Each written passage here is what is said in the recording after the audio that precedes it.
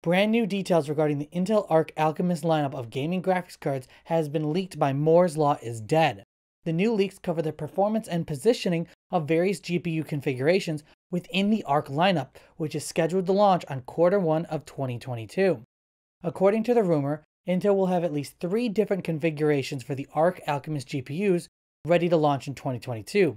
These will include two configurations based on the top 512 EU die and one configuration based on the 128 EU die. Although there are more GPU configurations that we've seen in other leaks, it looks like those may be used for future products that cannot be confirmed at this time.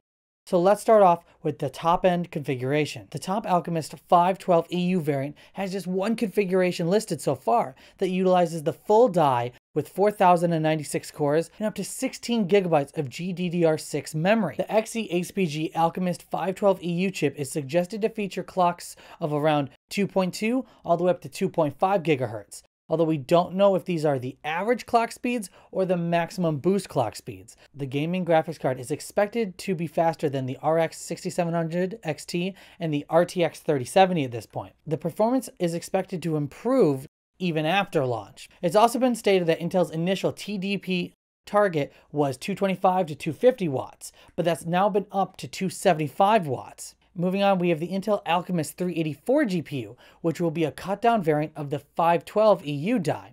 The 384 EU chip will feature 3072 cores, up to 12 gigabytes of GDDR6 memory, and a 192-bit bus interface. The card would also feature TDP of roughly about 200 watts, and is expected to feature performance similar to NVIDIA's RTX 3060 or the RTX 3060 Ti. Then lastly, we have the Intel Xe HPG Alchemist 128 EU parts. The top config will feature 1024 cores, a 64-bit bus interface, and up to 8 gigabytes of GDDR6 memory. The cut down variant will feature just 768 cores and 4 gigabytes of memory across the same 64-bit bus interface. The chip will also feature a clock speeds ranging from 2.2 to 2.5 GHz with a sub 75 watt power consumption. This means that this graphics card won't need an extra connector.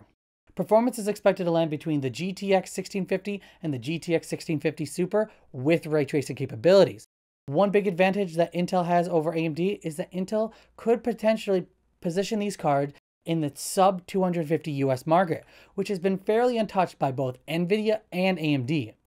Based on the timeline, these Alchemist lineups will be competing against NVIDIA's Ampere and AMD's RDNA 2 GPUs, since both companies aren't expected to launch their next gen parts until the very end of 2022. But what do you want to see in Intel's Arc Alchemist graphics cards? Let us know in the comments down below, and don't forget to subscribe for more fantastic tech news.